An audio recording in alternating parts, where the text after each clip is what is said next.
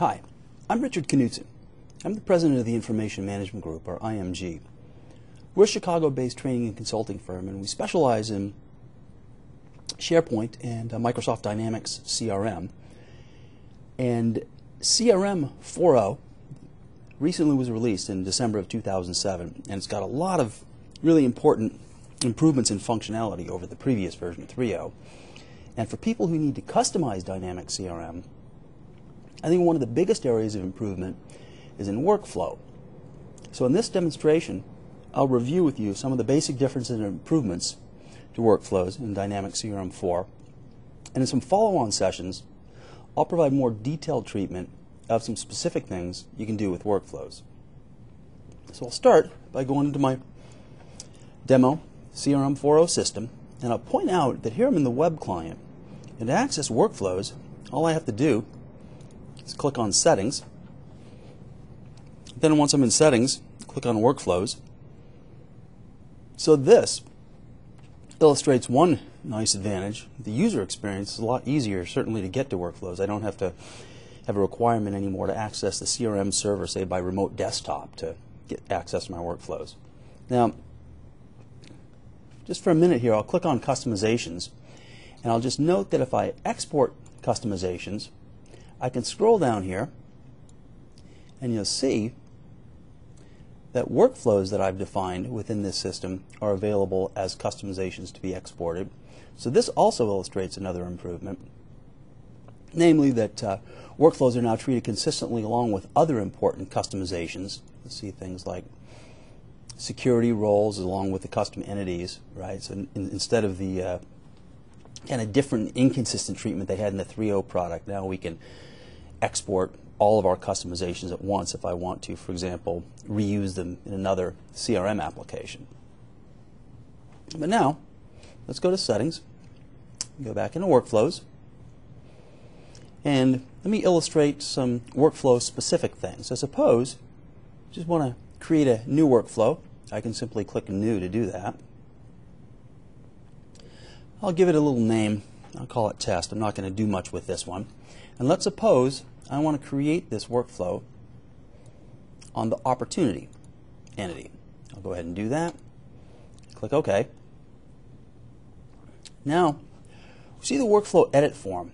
And you can see here that in addition to the three triggering events we could use in 3.0 for automatic workflows, that was when a record is created, when the status changes, or when the record is assigned, we now have two new events that can trigger a workflow. And these were things that were sorely missing in 3.0 and will make for much better control over what we can do with workflows in this version of the product. So suppose I want to check for any attribute of the opportunity entity that changes. If I check that checkbox in and click on select, I could, for instance, pull the probability attribute so now what this workflow will do is as soon as the value of the probability attribute changes, then I can have some workflow fire off when, say, the probability is either upgraded or downgraded. I could also have a workflow that runs when a record is deleted. That was also a measure of control we did not have in the 3.0 product. So uh, that'll be a, a nice uh, improvement in this version of the product. Now, let's close out of here and illustrate a couple of the other things that I want to talk about, let's use a workflow that I've already created. So here what I'll do is I'll go down and choose this uh, rather descriptively named workflow here. I'll double click it to open it up. And notice that I can unpublish this workflow from here. I have to unpublish it in order for me to edit the thing. So I'll go ahead and do that. Now, in the new workflow form, one of the things I want you to notice is up here in the workflow properties section, I showed you this a minute ago when we created the new workflow that I we just looked at. I can basically create the workflow, give it basic properties up here, but then once I've got those established, I can collapse that. It's a toggle switch. I can collapse that and free up more room for my area down here where I can define the logic of the workflow. Now, this workflow, admittedly, is a little silly, but it illustrates a point. So one of the things that I want to show you here is the use of this new timeout condition. So notice that this says when an opportunity is created, because this is an automatic workflow that runs on the create event, I check to see if a minute has passed, and the way I do that, I'll click on that position, and I'm using this new workflow timeout value to basically check for a minute having gone by after the opportunity is created. And that timeout condition, that's a new condition in 4.0 that you can do to, um, you know, it makes it a lot easier to create a workflow that simply sits and waits until something happens, or in this case, maybe doesn't happen. Because what we're going to do here is do a, is check a condition. Once that condition is met, we're going to check to see if the opportunity status is still open. Then we'll create a new message. That is, we'll use the send email action. And I can click this set properties button. And this is one of my favorite new features of workflow in 4.0.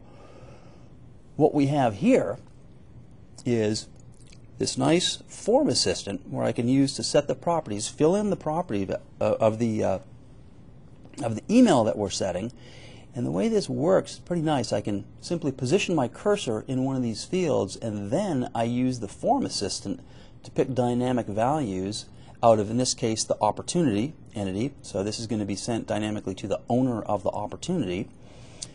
But notice that I could position the cursor somewhere else. In this case, I've got it positioned in the body of the email. And then I could actually, for example, put um, values from the opportunity entity, such as, for instance, if I wanted to give them some information on the estimated close date, I could click Add, click OK, and just pop it right in there. So now this is a really nice user interface for filling in um, information dynamically from the workflow into whatever form we're trying to fill in. And I'll just point out here that not only can I access the entity that this workflow is created on the primary entity, but notice that I can also select different entities, so the re related entities, that is, entities that are related through my CRM system using relationships to the primary entity, and then you can imagine that I can access attributes from those entities. So this is a really powerful and much, uh, much, much more flexible approach to creating dynamic workflows than we had in the previous version. So we'll go ahead and close that here for now. And I could republish this workflow if I made changes to it. And then once I publish this workflow out, it's ready to be used. I can close out of this window. And um, so really what I wanted to show you in this demonstration was really just to give you an overview of some of the most important new features in Dynamic CRM 4.0 workflow. And in other sessions, I'll go through specific aspects of workflows, such as the use of that timeout, conditional that we saw in some of the other conditional and uh, aspects to workflows and the greater flexibility we have with the events that triggering workflows. Altogether, a raft of uh, important new improvements.